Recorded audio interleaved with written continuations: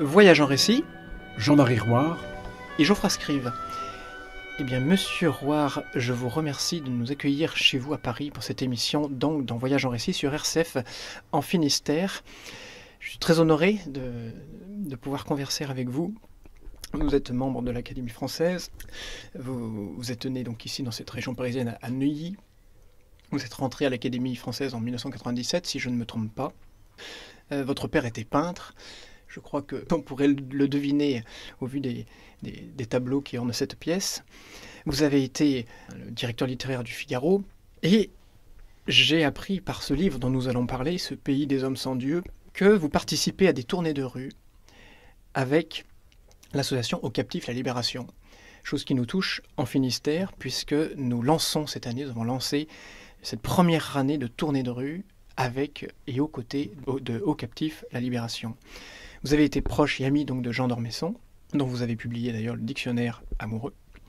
Et puis, en 2021, donc cette année, vous publiez ce livre, Ce pays des hommes sans Dieu. Alors tout simplement, une première question, pour entrer en matière, pour ceux qui nous écoutent et qui ne connaîtraient pas ce livre, mais que le titre pourrait marquer, pourquoi ce titre? Est-ce volontairement euh, provocateur? Non. Non, parce que la France était surnommée euh, la fille aînée de l'Église. Et aujourd'hui, on le voit bien, euh, les gouvernants euh, sont de plus en plus dans une dérive vers l'athéisme. Ce qui a été relevé à propos de la, loi sur le séparatisme. Et tous les religieux, y compris le grand rabbin Corsia, ont dénoncé cette loi qui, pour eux, est un vecteur d'athéisme. Et c'est un tournant dans la République, parce que la République a toujours été plus ou moins anticléricale. Euh, les Lumières étaient anticléricales. Mais Jésus lui-même était un anticlérical. Donc l'anticléricalisme, c'est très très ancien. Mais euh, ce qu'il y a de nouveau, c'est que la République est passée de l'anticléricalisme à l'athéisme. Voilà. Mhm. C'est-à-dire qu'elle. euh, et ça, à mon avis, c'est très dommageable. Et c'est dommageable. Euh, pas, c'est pas la question de la foi sur laquelle je m'interroge. La foi, c'est très c'est personnel. Et hum, c'est sur la question de la civilisation française, puisque le christianisme est le soubassement de la civilisation française, avec bien sûr l'apport de la Grèce, mais ce soubassement, on ne peut pas l'expurger de la civilisation française, on ne peut pas retirer la France d'elle-même. Et c'est dans ce sens que je trouve que le combat laïcard ou laïciste est un combat absurde parce qu'il veut euh, essayer de créer une, une religion laïcarde, comme on est en train de créer une religion républicaine et des blasphèmes républicains qui remplaceraient les blasphèmes religieux. Bon, c'est cette dérive que je trouve euh, à la fois contre-productive, ridicule, et surtout qui ne pourront pas euh, servir, si vous voulez, dans le combat contre l'islam. Voilà. Euh, je crois que s'il y a un combat amené contre l'islam, c'est sur le plan politique, c'est sur le plan du terrorisme, c'est une question. Mais euh, euh, il faut respecter le religieux de l'islam, parce que ce religieux, comme tous les religieux, il y a je crois que c'est Renan qui le disait, et la religion, c'est un symptôme, c'est une preuve d'un désir d'élévation. Vous entrez en matière de façon un peu plus directe. Nous sommes à la neuvième page de ce petit livre. Vous écrivez Nous sommes la veille du 29 mai 1453. Constantinople tombera demain. Et nous, à la veille de quoi sommes-nous? Oui, je crois qu'il y a une, profonde interrogation euh, de l'Occident sur lui-même, mais particulièrement de la France sur elle-même. On est dans une crise générale, on est dans une crise qui tient à la fois à la mondialisation, on est à la fois dans une crise qui est une crise de la démocratie, et euh, les, les soutiens de la civilisation française ont disparu c'était ce qu'on pourrait appeler les murs porteurs. Et ils ont été très bien décrits par un Allemand qui qui s'appelle Curtius, qui a écrit un livre sur la France, de la mmh. France, et dans lequel il disait la France, la civilisation française repose sur trois piliers l'État. Or, vous voyez bien dans quel état est l'État. Il va très très mal, il n'a plus aucune, aucun pouvoir, il est complètement rongé par les sociétés multinationales, il est rongé par l'argent, enfin bon. Et ensuite, le deuxième pilier, c'était le catholicisme, très important. Et le troisième pilier, c'était la littérature. Or, ces trois piliers sont en très très mauvais état, et donc cette civilisation française est en train de disparaître, y compris le vecteur important de cette civilisation, c'était la langue française. Or, cette langue française, que les pouvoirs publics ont complètement abandonnée et qu'ils ne protègent plus, ne protègent plus contre le franglais, à un point invraisemblable. Chaque jour, tous les gens qui aimaient la langue française souffrent de voir qu'on emploie le mot cluster pour, euh, au lieu de foyer, qu'on emploie pick and collect, et même, et même, pire que tout, on a débaptisé la Sorbonne pour l'appeler Sorbonne Université, ce qui, est, du franglais. Donc vous voyez, et les DES, je ne sais quoi, pour n'importe quoi, c'est-à-dire que nous ne sommes plus vraiment des citoyens. Nous sommes, on se plaint que les gens ne vont plus voter, mais les citoyens se rendent compte qu'ils n'ont plus voix au chapitre. Ils sont devenus des consommateurs harcelés par la publicité. Et qu'est-ce qui crée leur univers? C'est pas le pouvoir politique, c'est le pouvoir de la publicité. Alors, il y a un mot qui qui me vient quand je vous entends parler de ces trois piliers, c'est l'honnêteté. Est-ce que vous reprochez peut-être à l'État une malhonnêteté en ne voulant pas voir ses propres torts, ses propres travers, ses propres faiblesses? Est-ce que la question aussi se pose de l'honnêteté de se regarder vraiment face à face avec euh, l'Église et envers la littérature Je ne parlerai pas de malhonnêteté, je parlerai d'une, disons, d'une chute, disons, euh, progressive dans la démagogie.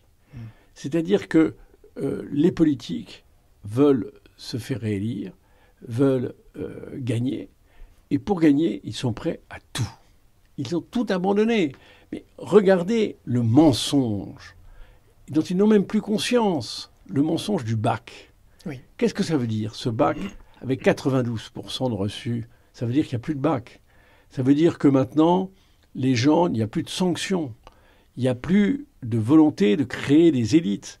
Et, il n'y a plus d'émulation vers ces élites.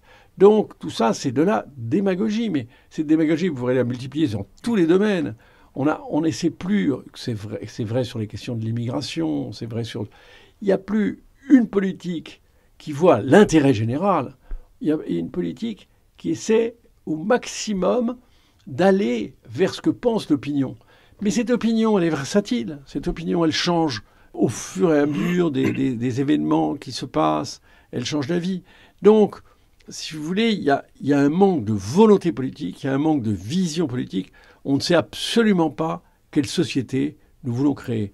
Et pour l'instant, on a l'impression que on laisse les choses se faire en attendant, on ne sait pas très bien quoi, mais on sait très bien ce qui va se passer. C'est que nous serons complètement envahis, notre personnalité nationale, notre personnalité en tant que Français va disparaître sous l'effet de la mondialisation, de l'Europe et finalement, on va devenir une colonie américaine, une sorte de colonie sans, sans personnalité. Et ça, c'est, je crois que pour les Français, c'est dans leur tréfonds, ils sentent cette désagrégation, et c'est ce qui les amène d'ailleurs à des votes vers des partis qu'on considérait comme extrémistes, et qui maintenant paraissent des partis simplement nationaux. Vous parliez des 90% de réussite au bac. Ce soir, nous aurons, enfin, ce soir, parce que nous sommes euh, en train de discuter alors que les Français sont en train de voter pour des élections euh, ce jour même, il y aura peut-être 70% d'abstention. Cela est aussi un facteur, une marque que le peuple ne croit plus tellement dans ses instances politiques? Mais il n'y croit plus. Mais il n'a pas tort. Hum. Parce que le politique n'a plus de pouvoir. Ce sont les GAFA, ce sont l'ensemble des pouvoirs économiques qui, comptent. Et, puis, il y a un autre phénomène qui est la conséquence de cette démagogie, c'est la désagrégation sociale. il y a une sorte de euh, de pulvérisation des catégories sociales. Et maintenant, si vous voulez, on a complètement, pour des, pour des raisons, là encore, euh, démagogiques, on a euh, abandonné quelque chose qui était essentiel pour, pour l'intégration. Parce que le premier facteur de l'intégration, c'est le travail. Hmm. Si les gens n'ont pas de travail, ils ne s'intègrent pas. Or, pour s'intégrer, il y avait un, gisement formidable, c'était euh, l'artisanat. L'artisanat, je ne parle même pas de l'artisanat d'art, je parle de tous les artisanats. Et, maintenant, en voulant absolument euh, supprimer l'apprentissage, c'est évident que c'est une erreur colossale. Vous vous rendez compte que la France a été le premier pays pour, l'artisanat d'art et que maintenant, il n'y a plus rien, nous n'existons plus sur le plan de l'artisanat. Or, tout cela, c'était, ça permettait à des gens qui n'étaient pas forcément faits pour faire une licence de, sociologie ou de psychologie, qui ne mèneront nulle part. et on, a fait de faux intellectuels euh, qui sont de vrais chômeurs. Voilà, de vrais chômeurs, et on se satisfait de cette situation sur des principes idéologiques, idéologiques au nom d'une conception de l'homme purement intellectuelle, purement technocratique. Vous pointiez tout à l'heure l'usage aujourd'hui dans notre langue du franglais, du globish, comme disait Michel Serres, dans le fait d'appartenir ou de se rallier à un point de vue euh, anglo-saxon, en tout cas américain. Je repense à ce mot de Drieux-La Rochelle. C'est tiré donc de ce livre qu'a écrit justement Julien Hervier, Drieux-La Rochelle, une histoire de désamour, une sorte d'abécédaire sur Drieux-La Rochelle. Il dit à l'époque de la Grande Guerre, Drieux admire l'énergie américaine, mais il est extrêmement méfiant sur le plan culturel. De son état-major américain, il écrit le 9 août 1918 à sa femme Colette Ces gens-là sont terriblement forts, et le XXe siècle est à eux. Mais ils sont dangereux aussi, du point de vue de la civilisation. Ou encore, un peu plus tôt, intellectuellement, ils sont, semble-t-il, à plusieurs siècles de nous. Ils ignorent tout raffinement de la pensée, et ils ne savent pas dire la beauté formidable du pays où ils vivent ils ne savent pas dire la beauté formidable du pays où ils vivent. Est-ce qu'on ne peut pas Est-ce que cela n'est pas aussi euh, propre à la France aujourd'hui? Est-ce qu'on a du mal à dire notre beauté et à la faire goûter à ceux qui rejoignent ce pays? Mais vous savez très bien que la France était complètement envahie depuis la grande cassure de la guerre de 14, donc, qui, a, détruit une grande partie de la France. Elle est complètement maintenant, elle est entrée dans une conception de l'art qui nie la beauté. Qui nie la beauté. La beauté n'est plus le principe euh, fondamental, ni la beauté, ni la tradition. Donc, que ce soit sur le plan religieux, que ce soit sur le plan esthétique. Vous savez, il y avait. Et tout ça, le soubassement était chrétien. Parce que les chrétiens avaient emprunté à la Grèce cette idée que la vérité que le message, la vérité, devait passer par la beauté. Et c'est ce qu'avait fait la Grèce. C'est pour ça qu'il y, a, tellement de choses magnifiques en Grèce, des temples et, des sculptures. Eh bien, et qui restent. Qui restent. Eh bien, les, euh, la, France, notamment, puisque euh, Clovis s'est fait baptiser, il avait repris cette idée, et l'Église a repris cette idée. C'est ce qui nous a donné la chapelle Sixtine, c'est ce qui nous a donné Michel-Ange, c'est ce qui nous avait donné euh, Frangelico, euh, et des écrivains comme Bossuet, comme Pascal, comme Bernanos, Racine. Comme, Racine et comme Mauriac. Oui, eh bien tout cela, cette idée de la, la, beauté, qui est en même temps une vérité, c'est ça, c'était indissociable. Eh bien maintenant, nous sommes complètement dans une conception différente et nous, nous avons perdu l'idée de la beauté. C'est terminé, c'est quelque chose qui, qui, qui n'est plus dans le, qui n'est plus à la mode. Alors on cherche autre chose, on cherche une vérité intellectuelle, quelque chose, et, je crois profondément que, cette beauté était nécessaire, dans la mesure, tout comme la religion, elle était une voie d'accès au mystère et au merveilleux. Et ça, il faut bien reconnaître que c'est une part de l'Église, avec Vatican II, qui a euh, amené euh, cette vision purement intellectuelle de la religion et qui a euh, retiré dans l'Église beaucoup de symboles. Pourquoi pouvez-vous me dire Pourquoi est-ce qu'on a fait descendre le prêtre de sa chair dans l'Église, que la chair reste là, inutile? On se demande à quoi elle servait et pourquoi, pouvez-vous me dire, le prêtre n'est plus en soutane? Mais euh, qu'est-ce que ça a apporté qu'il ne soit plus en soutane, qu'il n'affirme plus qu'il ressemble à, un clergyman protestant? Ça n'a pas de sens. Pourquoi a-t-on supprimé la messe en latin? Même monseigneur Ratzinger considérait que c'était absurde de vouloir transformer cette Église d'un point de vue, si vous voulez, sous l'effet d'une révolution complète, c'est-à-dire ce n'est plus disons, les principes spirituels qui guidaient la société civile, c'est l'inverse. On a demandé à la société civile d'apporter du sang neuf à l'Église. C'est-à-dire qu'on a vraiment complètement transformé les choses. C'est la médiocrité de la société civile qui s'est mise à irriguer l'Église. Donc, il ne faut pas s'étonner si beaucoup de gens, euh, pardon, comme moi, qui suis un catholique approximatif, qui vais très peu à la messe, mais je ne vais plus à la messe aussi pour cette raison. Là, je viens de passer trois jours à l'abbaye de la Grâce, près de Narbonne, et là, je vous dis, vraiment, vous, voyez ce que c'est que la foi. C'est une foi qui vous touche par la beauté de la liturgie, par la beauté des lieux. Mais c'est vrai que les églises aujourd'hui sont un peu misérables, et que les prêtres sont un peu misérables dans leur, euh, faux costumes euh, euh, religieux, dans cette espèce, quand vous voyez la réunion des évêques à Lourdes, vous avez l'impression de petits vieux dans un, dans un EHPAD qui n'ont aucune allure, c'est effrayant. Je veux dire, cette allure, c'est pas quelque chose de, c'est pas une conception bourgeoise des choses, c'est simplement, c'était le signe de quelque chose de, beau et quelque chose qui incarnait une tradition. Comment voulez-vous que ces vérités, qui ont été transmises depuis des siècles, dans lesquelles nous croyons. Moi, quand j'étais enfant, on me disait que si je touchais l'hostie, c'est un péché mortel. Maintenant, on vous, on vous donne l'hostie dans la main. Donc, ces variations, disons, de, la liturgie font que on n'y croit plus. Parce que justement, ce qui faisait la force de l'Église, c'était sa continuité, c'était le fait qu'on répétait sans cesse quelque chose qui était appartenait à la tradition.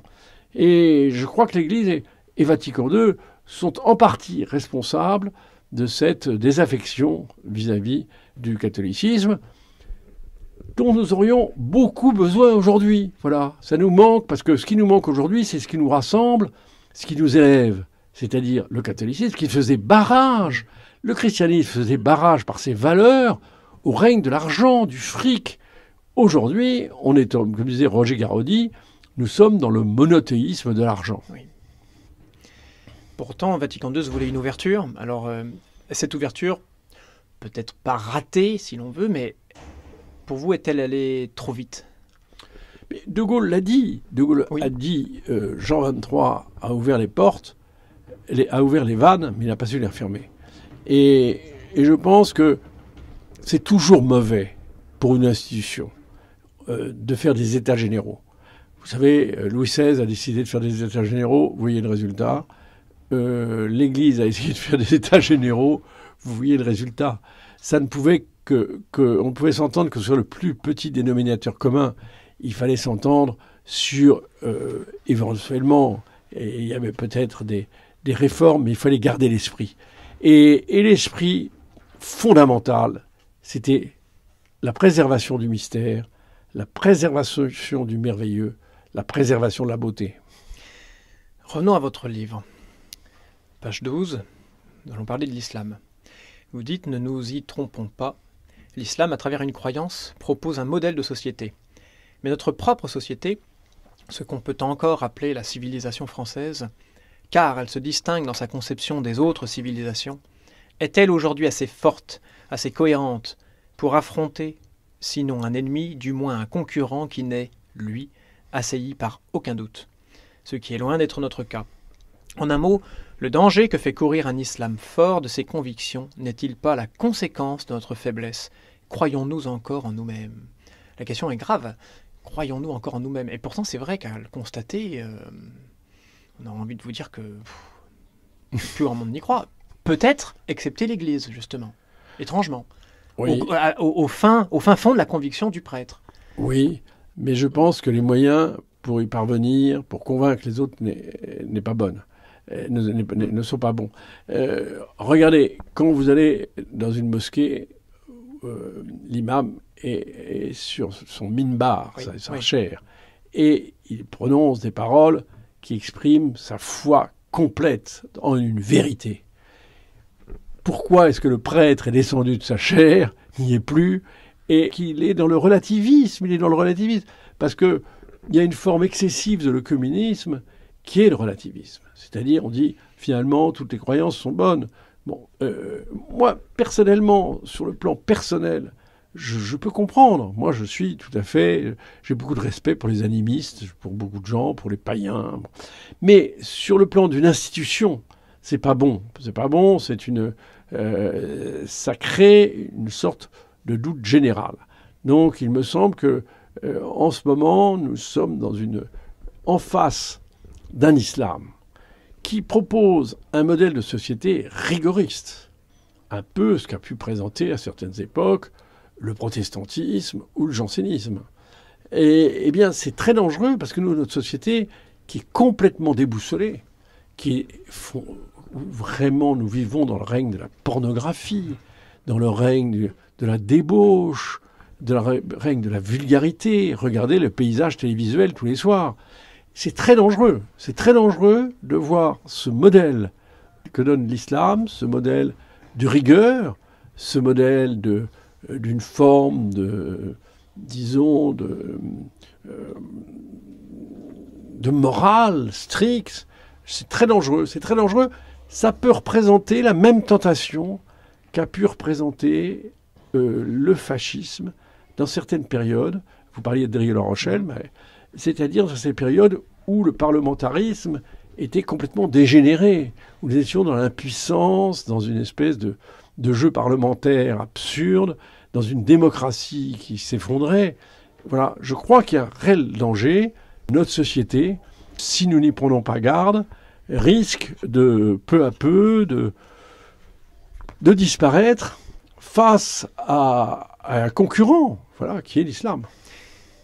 Je vais faire un petit aparté à partir de ce tout petit livre, Espérer pour la France d'Hubert Germain. Hubert Germain, le dernier compagnon de libération encore vivant, qui cet été va atteindre, je crois, les 101 ans.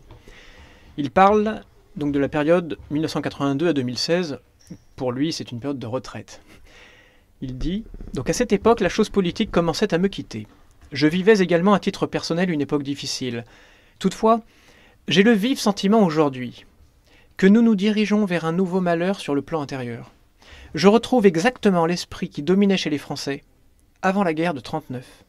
J'ai connu les événements de 34 et l'émeute sur la place de la Concorde avec la garde républicaine à cheval taillant au sabre dans la foule.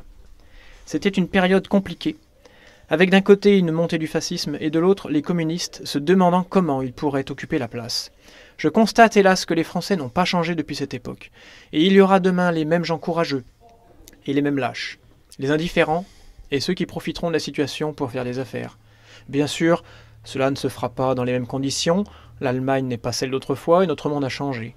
Si les États-Unis dominent toujours pour le moment et font en sorte de rester les premiers, nous voyons le retour de la Russie, suivi par celui de la Chine, le réveil de l'Inde et dans son sillage l'Afrique du Sud.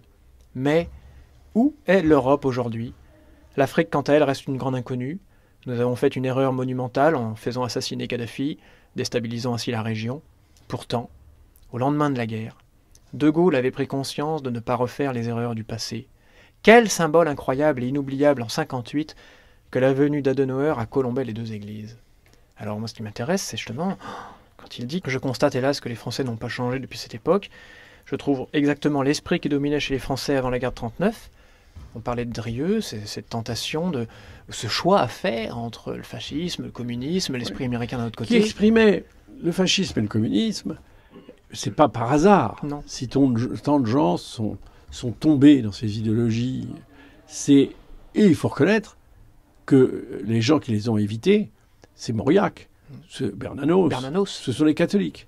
Les catholiques parce que ils ont toujours cru à la, en la personne humaine. Pour eux, c'était la valeur supérieure. Et le communisme et le, fascisme ne croyaient pas à la personne humaine. Donc, c'était pas pas pour eux une valeur. Donc, je crois qu'aujourd'hui, il y a le même risque le même risque de voir l'islam apparaître comme une solution, une solution à cette dégradation de la démocratie. Parce que euh, ce qui a entraîné cette, cette forme de, révolte euh, populaire euh, que vous avez évoquée avec le 6 février 1934, c'est finalement que le pouvoir politique ne vit qu'avec lui-même, il a complètement perdu pied avec, disons, les, intérêts les intérêts populaires. Donc, euh, il s'est complètement isolé. C'est devenu une mécanique qui tourne en rond. Eh bien, on est exactement dans, dans ce cas. Euh, il y a eu la parenthèse des institutions de la Ve République, mais vous remarquerez qu'on a tout fait pour les détruire. On a fait le quinquennat, qui est une façon de dénaturer la les institutions de la Ve République, et euh, la, la, pratique telle que l'avait initiée le général de Gaulle, n'est plus du tout celle-là. Donc, on est en train, on avait un pouvoir fort. Ce pouvoir fort qui est nécessaire pour les Français.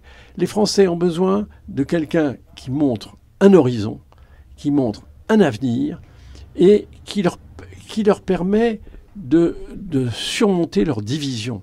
Les divisions sont très très profondes. Vous savez, nous sommes un pays plein de cicatrices. Vous vous rendez compte tout ce que nous avons traversé La Révolution française, la, la, la, révocation de l'édit de Nantes, combien de révolutions? 1830, 48, la Commune, une guerre de 14 effroyable où, tant de gens sont morts, la guerre de, de 40 avec toutes les divisions nées de la guerre de 40 et du régime de Vichy, qui sont des divisions effroyables que nous avons du mal à surmonter, où ils se sont trouvés en, face de deux vérités, deux, deux légitimités.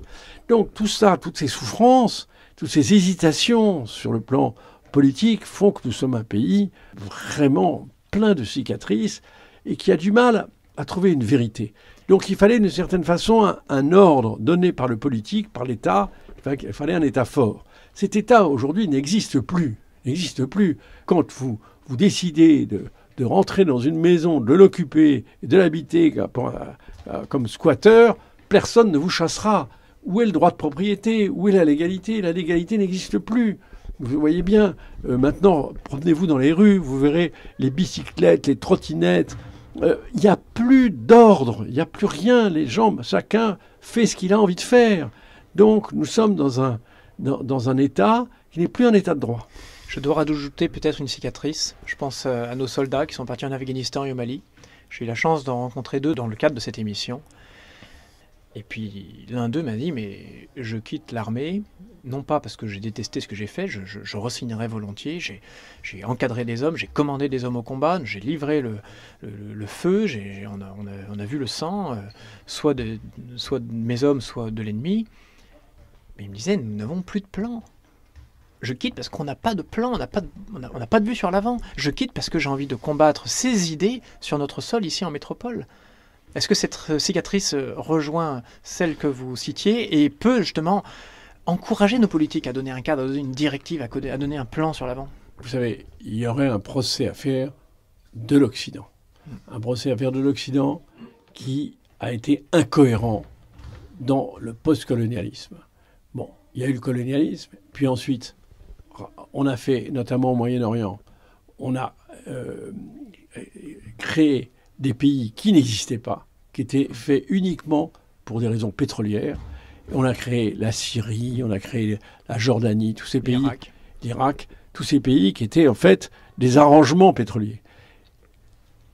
Par, je ne dirais pas par bonheur, parce que ce n'étaient pas des régimes qui étaient vraiment euh, euh, très honorables, mais il y en a eu des régimes laïques. Ensuite, on a tout fait pour détruire ces régimes laïques.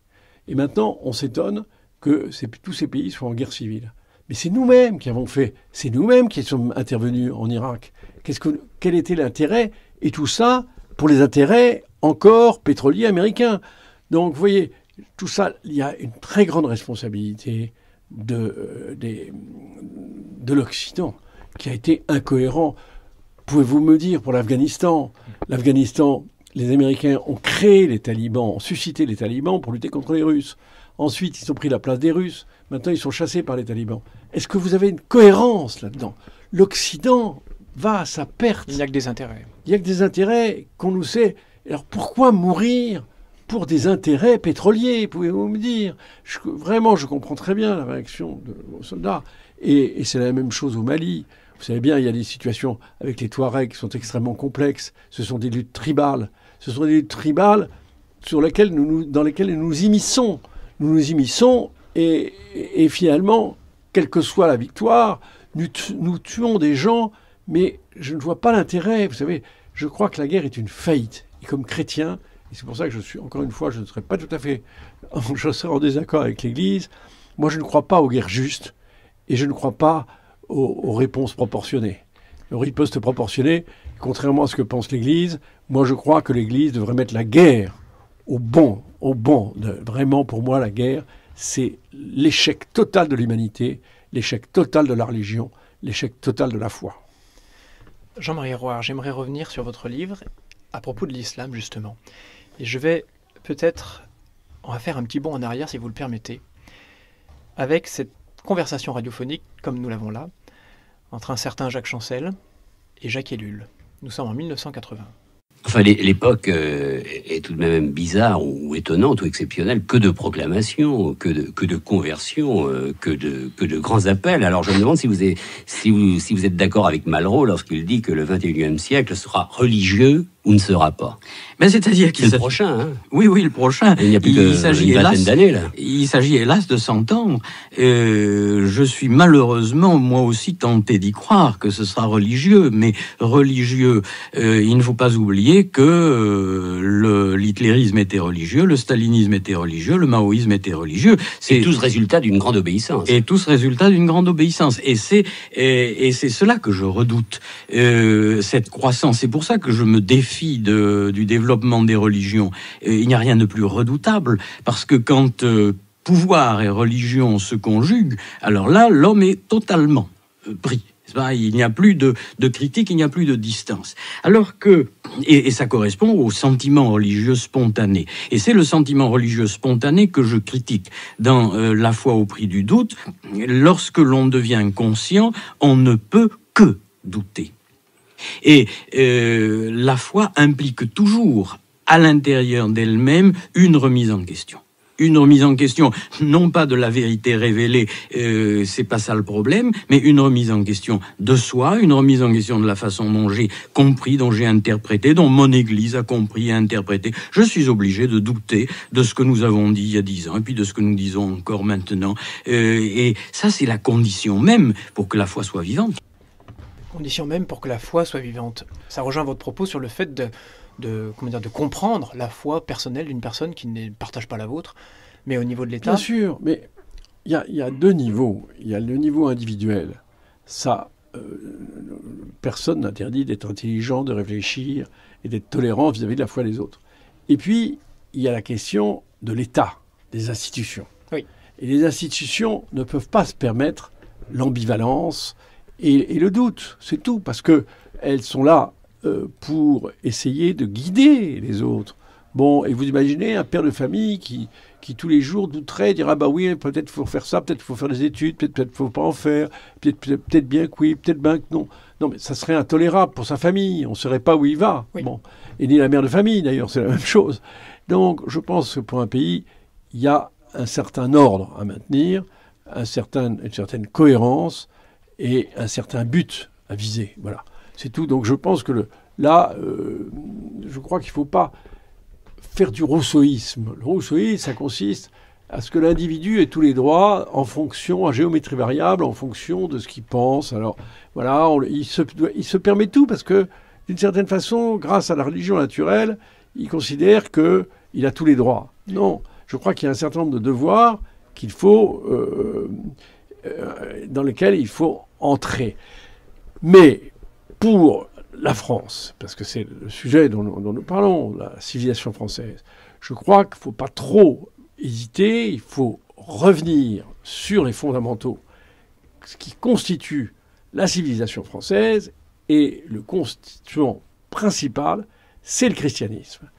Tout ce qu'a apporté la culture chrétienne, c'est ce qui fait ce que nous sommes. Or, si nous voulons transmettre cette civilisation, si nous voulons convaincre un certain nombre de personnes, notamment de l'islam, parce qu'il y a beaucoup de gens, de musulmans, qui sont tout à fait prêts à comprendre justement ces valeurs euh, françaises, tout en gardant leur religion, tout en restant musulmans. Et c'est, c'est le grand apport de la France, c'est que ça permet, et Romain Gary l'a très bien dit, tous les gens qui se sont convertis à la France, comme Sioran, comme euh, Ionesco, comme François Cheng, qui est chinois, eh bien, ils ont compris que la France, on pouvait devenir, se convertir à la France, tout en gardant son bagage ancien, sa religion ancienne. Bon, on admet, être français, c'est forcément être chrétien. Voilà. Romain Gary l'a dit, ce sont les papiers d'identité de la France. Eh bien, mais on peut adhérer à ces valeurs de la civilisation française tout en gardant son bagage. Et, je pense que c'est ça qu'il faut revendiquer. Il faut revendiquer cet apport du, du judéo-christianisme et de la Grèce antique, et en même temps ne pas essayer d'extraire de la France la France elle-même, parce que c'est constitutif de la France. Continuons par ce deuxième extrait, notre bond en arrière. Mais Jacques Ellul, comment entendez-vous les bruits aujourd'hui qui sont apportés par l'islam? Parce qu'on parle des protestants, on parle des catholiques, on parle des juifs, mais là c'est un bruit. Oui, euh, l'islam est euh, très inquiétant parce que euh, il peut répondre à un certain nombre de besoins purement religieux. Si l'islam, je dirais, redevient l'islam de ses enfin de ses de ses prophètes et de ses mystiques, alors j'ai l'impression que le dialogue peut être extrêmement fructueux entre l'Occident et l'islam. Euh, si l'islam devient une religion politique, c'est-à-dire si euh, dans cet équilibre extrêmement fragile qu'il y a à l'intérieur de l'islam entre euh, le djihad, n'est-ce pas euh, Le quoi Le le djihad, c'est-à-dire la, la guerre sainte euh, dans euh, dans l'islam est un fait complexe. Nous ne voulons en voir qu'un aspect, euh, c'est-à-dire euh, la guerre contre l'infidèle. Or, le djihad, la guerre sainte, c'est la guerre contre soi, d'abord pas euh, Le musulman sérieux mène la guerre contre ses propres passions, contre ses propres tendances, contre etc. Alors, euh, autrement dit, euh, nous sommes en présence d'une d'un monde spirituel qui a un impact sur le politique et l'extérieur, mais qui implique une vie intérieure extrêmement profonde. Alors, si l'islam bascule sur la conjugaison entre l'islam politique et la politique du monde moderne, ça peut être évidemment assez catastrophique.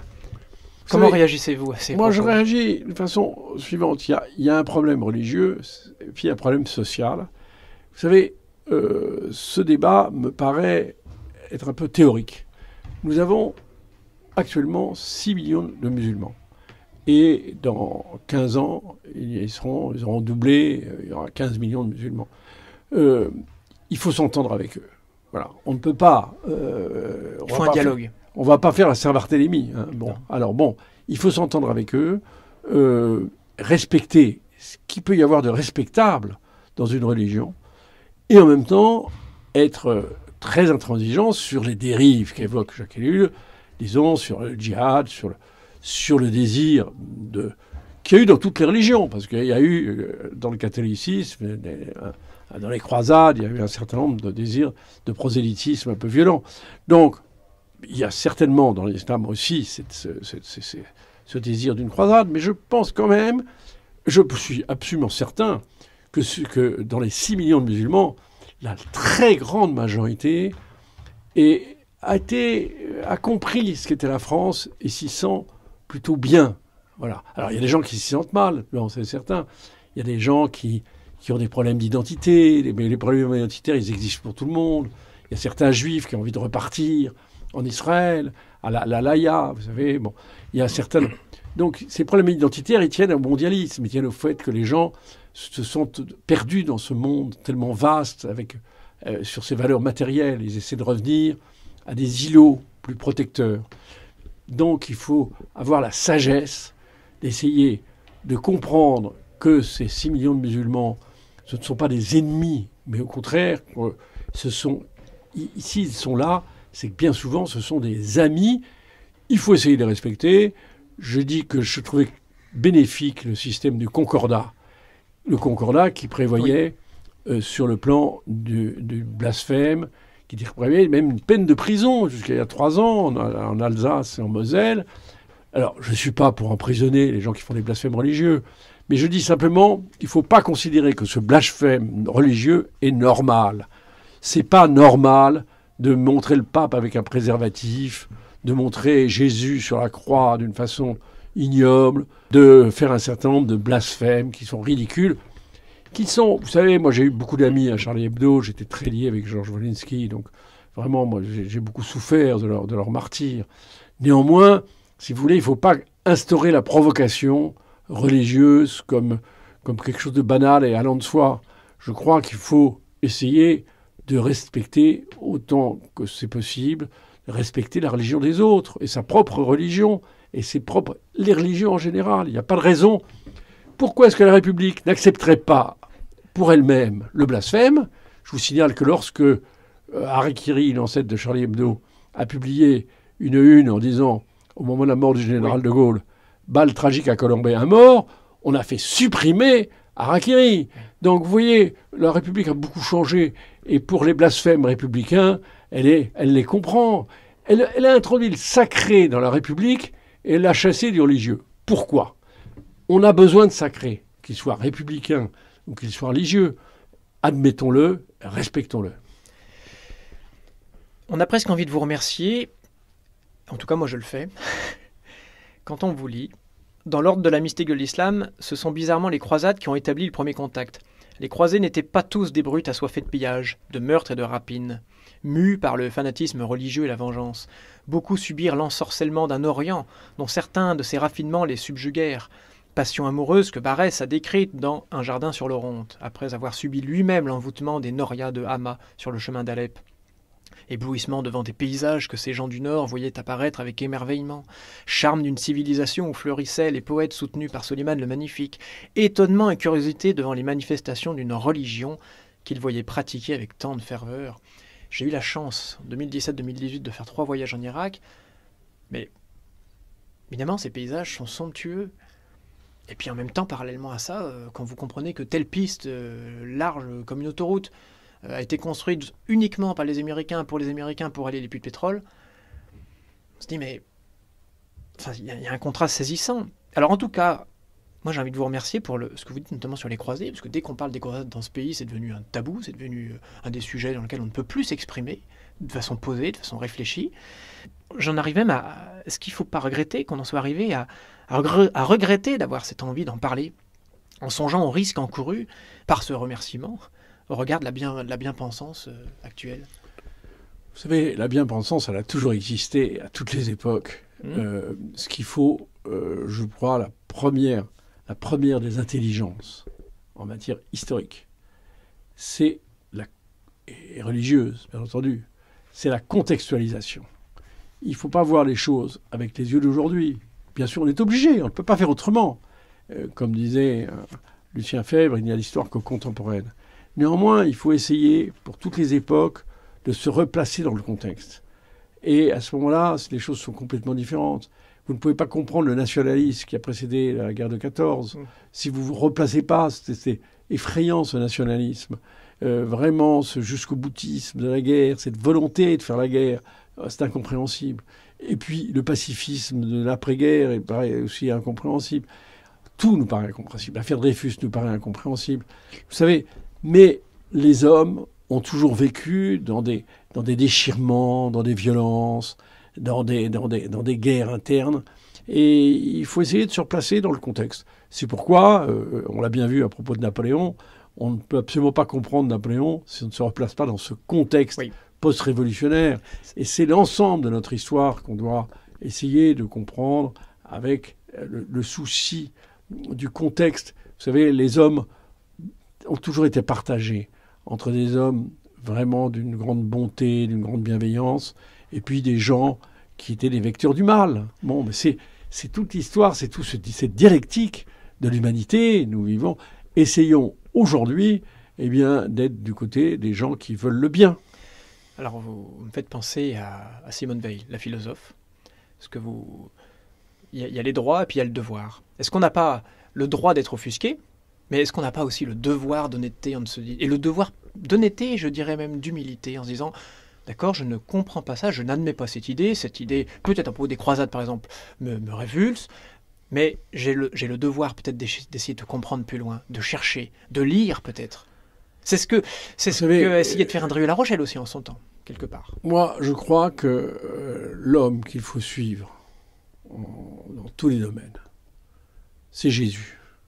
L'évangile, dans tous les domaines, vraiment, est, quelqu'un qui, qui vraiment peut nous aider dans toutes les circonstances.